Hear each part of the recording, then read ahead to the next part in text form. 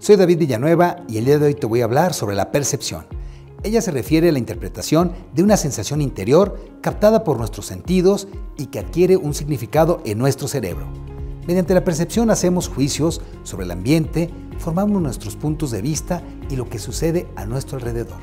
Cada quien tiene una percepción distinta sobre las cosas, de acuerdo con nuestra personalidad y el momento por el que estamos pasando, por lo que algunos autores la consideran contraria a la objetividad. Lo cierto es que cada uno percibe su punto de vista y se forma una opinión propia sobre lo que está experimentando.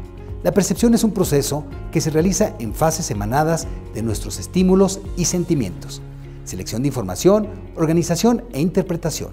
De esta manera, desciframos nuestra realidad.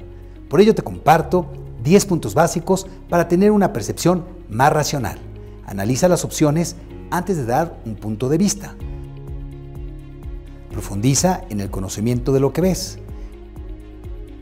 Escucha las opiniones de los demás. Sé humilde y acepta los cambios. Plantéate otras posibilidades. Razona las cosas más de una vez. Solemos percibir las cosas de acuerdo a nuestras expectativas. Tómalo en cuenta. Medita y conócete.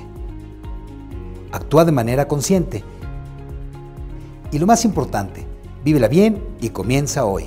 Como dijo Bertrand Russell, la percepción, sin comprobación ni fundamento, no es garantía suficiente de verdad. Soy David Villanueva y déjame todos los lunes estar contigo.